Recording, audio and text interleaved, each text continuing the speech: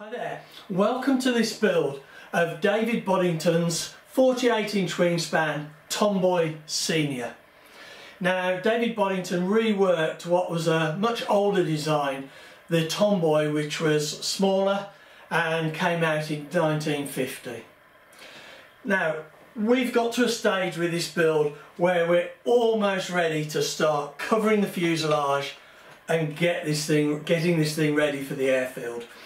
We've got the wings covered, tailplane and fin covered. We've had all the electronics in in the last video and got all of the controls sorted out and there's just a few little jobs left to do now on the fuselage before we cover it. And essentially we've got a little bit of sheeting that we left out here either side so that we could eye up the control rods of the servo from the servos to the surface control surfaces. We've done set those up now so we're ready to fill that in.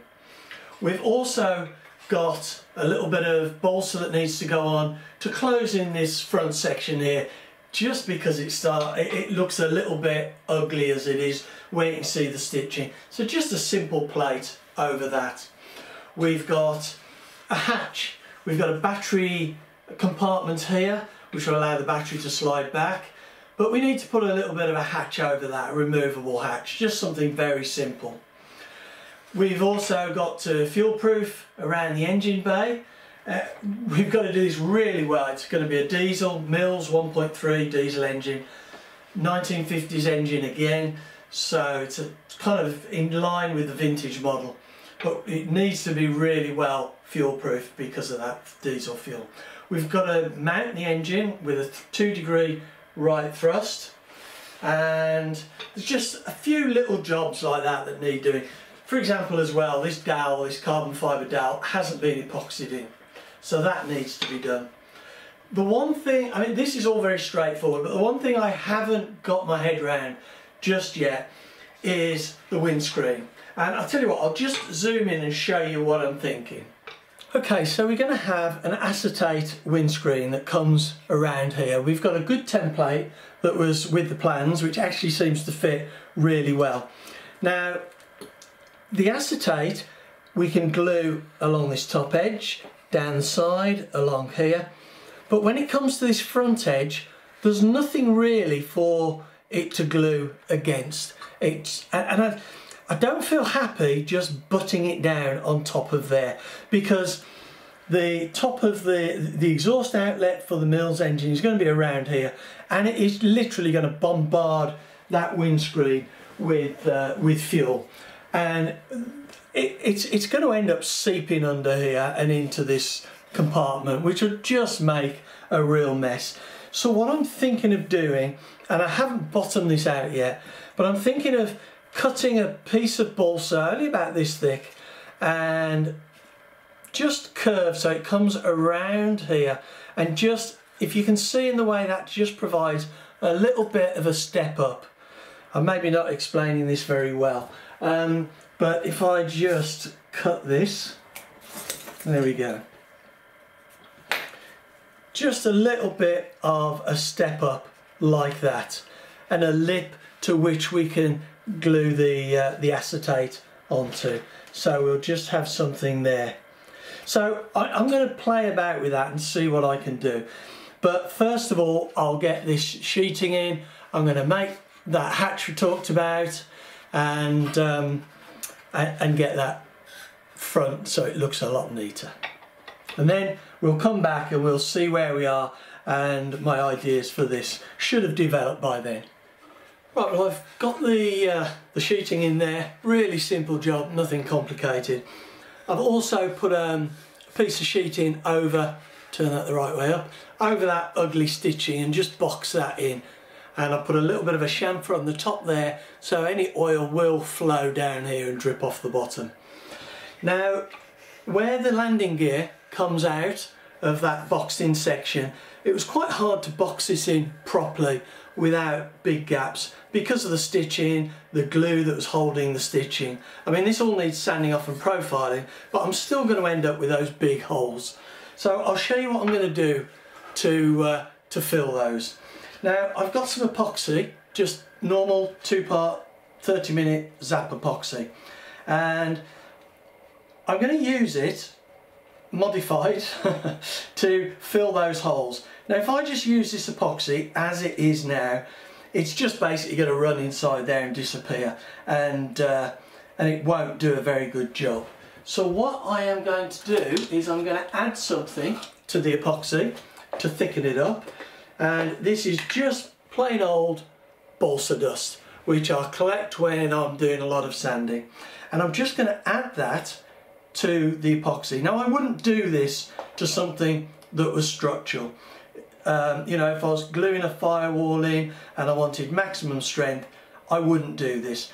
But I find this is a really good, I, I mean I do this quite often on various things and I find it's a really good way to thicken up epoxy and make it much more uh, useful for filling gaps like that. Like I say, it will alter the strength and uh, you know there are probably just as good other glues on the market but I don't have them. I have aliphatic resin, CA and um, PVA so I don't really have anything else to use. Now you can see that's getting quite thick. I'm going to put a little bit more and it's quite sandable as well. It's uh, it's a little bit weaker, you know, than the normal epoxy because it's got all this balsa dusting. Now what we need to do is just carefully put this in to the holes without spreading it everywhere and limit the amount of sanding that we have to do afterwards. So you can see the consistency, it just ends up like a really thick, thick paste. Whereas the, the epoxy I normally use is quite thin and actually would run in here and disappear quite quickly. So I'm just going to put that in. I'll use a bit of tissue when I've done it just to go around and, uh, and clean up. Let me get a bit now and, uh, and, and take it off the wire because there's no point in having too much more uh, sorry, too much than, uh, than is actually needed. There we go, a little bit more underneath. And then that will be done. Once I've done this, I'm then going to do the fuel proofing.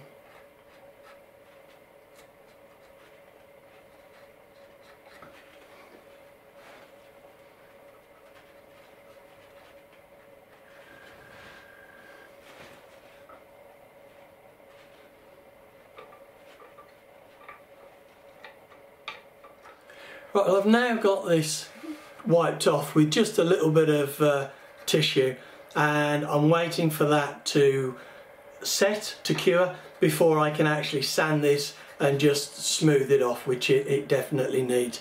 But you can see that's filled that quite nice. Now, I've been giving some thought why that is setting to this windscreen and I've cut a small sort of uh, semicircle which is going to fit on top of there like that.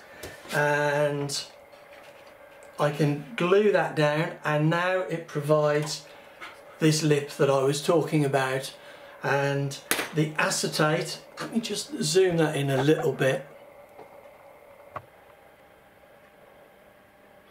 There we go. That's uh, a little bit closer. So now we've got this stand up and the acetate can glue against that and uh, that will be so much better than just having it butting down onto there.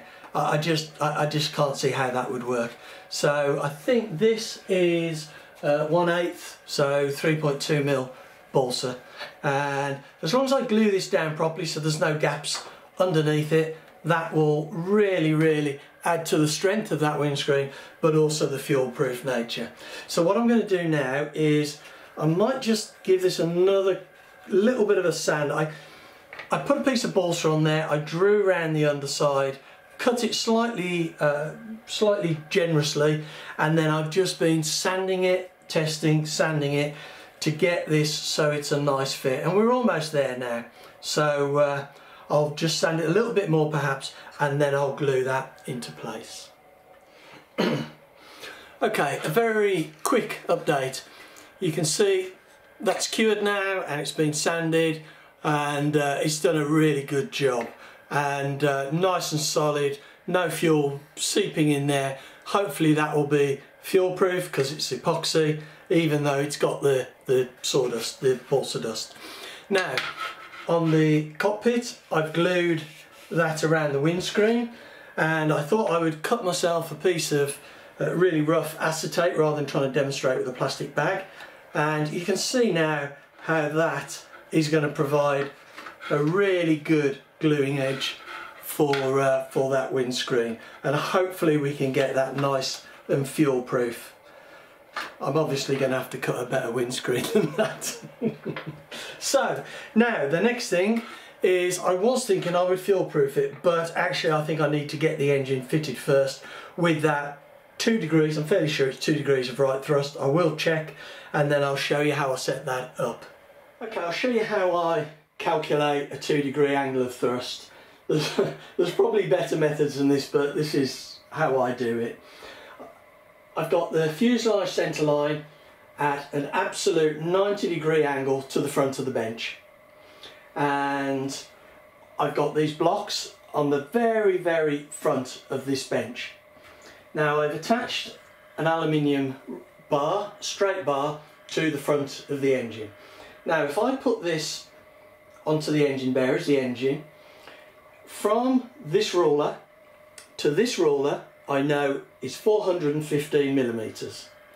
And if I want to put a two degree angle going um, to the right, I know that this ruler needs to be set in by about uh, 14 and a half mil compared to this one. So I've got this ruler 116 millimeters out from the very front of the bench here. This one I've got set at 101 and a half. So this one is 14 and a half millimeters less than this one. So now I know that if I put the tip of that bar on there and put the bar onto here, that is giving me a two degree angle of thrust for the engine. So we've got 116 out from the front of the bench here, we've got 101 and a half out from the front bench here, and we've got a 415 millimeter uh, bar to this from that roller to this roller. And I calculated these distances with an online calculator. There's loads of them available. So now I've got that set up like that all I need to do is mark where I'm going to drill my holes and I will take this over to my pillar drill or my bench drill and I will drill them appropriately. Like I say, this works for me, I know this is right, other people might not like it, might have better ways of doing it. Let me know how you do it, I'd be really interested. Okay, there we go. So now I'm going to mark that up, get this drilled and get the engine mounted. Right, well I've now got the holes drilled and I've got this bolted just very roughly in place. To be honest I've only got one nut on but I've got all four of the bolts in place uh, just pushed through. I, I, I didn't want to put all the nuts on and then have to take it off again. And you can see there there's a, an angle of thrust now on that you see it's slightly closer there to that cheek than it is to that. It does still move a little bit, but the holes are now correctly drilled. So that's great. And I, have just got some steel washers on there at the moment. What I will do is get some nice black washers, maybe something a tad bigger, because as much support as I can get on those lugs, the better, because it's an old engine. The the holes are all different sizes and they don't doesn't look that strong the lugs on there. So as much support I can get the, the, the better really. So I'm going to take the engine off now and it's time to get this fuel proofed well it's time to really crack on now and get this finished so we can get it covered now the first thing I'm going to do oh, there's two jobs I've got left to do and the first thing I'm going to do is the fuel proofing and what we're doing basically is sealing the wood around the engine compartment where we're going to have a lot of fuel and a lot of oil that could soak into the wood. So I'm going to be using my 30 minute two-part epoxy and I'm going to be thinning this down just very slightly with some 95% ethanol and you can use 75% uh, ethanol but I, I prefer the, the 95% because it has just a little bit less water in it. And I'm thinning it down just enough so that I can use a paintbrush just a small uh, like hobby brush and I'm just going to uh, paint that all over the or coat all of the wood in that engine bay. Basically the, the wood that's going to remain bare after the covering but what I will do as well is just come a little way uh, onto the wood where the covering will lap over that to hopefully make a nice seal and if there is any fuel or oil that seeps under the covering just a little bit it won't seep into the wood because of that, that epoxy. So it's a really simple job. Once you've thinned it down, be careful not to thin it too much and then you just brush it on all the areas that you need to protect. And like I said, the, the bare wood areas essentially. Now the other job I've got to do, and another very simple job, the last thing before we cover it, is just to make a removable hatch here where we've got this uh, this bay we can put the battery into and rather than using balsa because I want to keep it really thin and really light but quite strong still because it's going to have the battery on top of it and I'm going to be using some of this 0.8 mil uh, plywood I think anyway I, i may use a slightly thicker one but we'll come back and have a look at that when I've done it and I'm just essentially going to put some hooks on the front so it'll hook under this cross member here and a screw at the back to hold that into just a little bit of wood. So it's uh, removable, nice and easy with a hex head driver, just a single screw to take out that hatch. I mean once you've got it set up I shouldn't actually be uh, taking it on and off at all but uh, if it's easy all the better. So I will now get on with the fuel proofing and we'll come back and have a look at this when it's done. Well I've now got the fuel proofing done and covered around the whole of the inside there and these uh, these edges and that's gone on really nicely just a, a, single coat and I don't think I am going to add an additional coat. That looks absolutely fine. I'll need to re-drill uh, the holes on the beech mounts for the engine because those have got a little bit of epoxy in, but that's no big deal. I've also completed the hatch on the underside here and uh, I'll just, we'll take a closer look at that, I'll move the camera. So the hatch I did end up making out of the 116 ply, the 1.6 mil. And as I said flexible so it gets a little bit of a curve but it's still really strong and really light, there's nothing to it. I put a couple of lugs on the bottom which you can see there. And that just they just slot under that cross former put three pieces on here just to stop that falling in. And on the back there's a, a piece of 316 balsa here and I've just set in a couple of pieces of 3 mil uh, plywood that the screws screw into just gives it something to really grip some purchase but what I would say is if you're going to do this don't try and screw them in straight away drill a very small pilot hole and that will prevent it from splitting. Uh, it's essential really. I think if I just screwed the screws in it would have um, it would have just it would have just split it. So if I put this in like that and it's nice and secure just put the screw in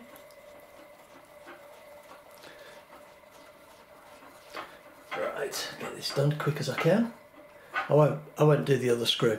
But you can see there, that is really nice and solid. There's a little bit of movement there on, on that front edge, but I've, I haven't wanted to do it too tight because there's covering film gonna come under that. But it is held nice and smooth with the, with the fuselage. So I think that is a really good solution. And it still allows me to get the, uh, the battery slotted in there. Right see yeah a little bit of movement there but like I say the covering film is going to come under there and I think that'll be absolutely fine. Well all that's left now is to give this a really nice finishing sand and make sure there's no high points or rough spots and it's just feeling lovely ready to be covered. Because there's nothing else to do to this fuselage now other than covering it. And that is really exciting because that's more or less the last thing we need to do other than of course fit it out.